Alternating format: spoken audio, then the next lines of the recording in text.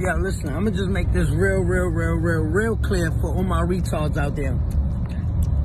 I was released on August 2nd. Since August 2nd till today, what day it is, Mark? 20th. To August 20th, I've been outside every single day.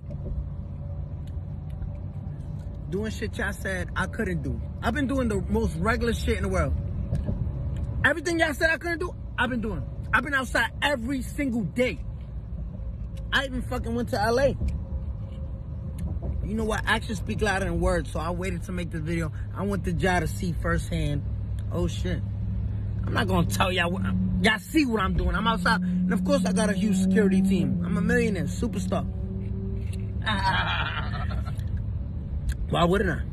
You want me dead? You want me, you wanna see a bullet right here? You probably do, but not gonna happen. but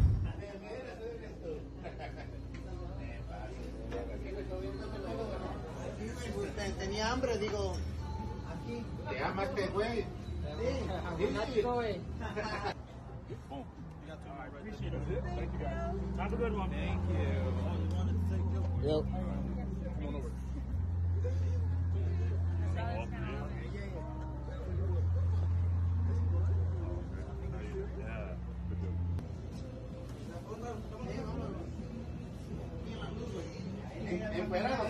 Thank you